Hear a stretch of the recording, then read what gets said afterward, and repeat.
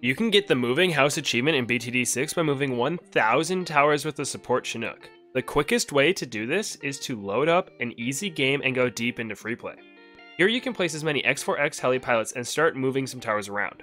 I like to place some dart monkeys to move around because I want my normal defenses to remain solid. You want to place a few monkeys down so you aren't waiting on them to be moved to move them again. I've found that having 3 or 4 dedicated moving monkeys is a good mix, and you can get a solid rotation going. The one nice thing about this achievement is that you can get some other achievements done during this process, like hooking in 3000 MOABs with Buccaneers or getting 1000 lives in one game. Anyway, even with this strategy, it will take a while. I was at this for 4 minutes and I only got 7% of the way there, which means it'll take me just under an hour to complete. But this is the easiest way to get the Moving House achievement in BTD 6.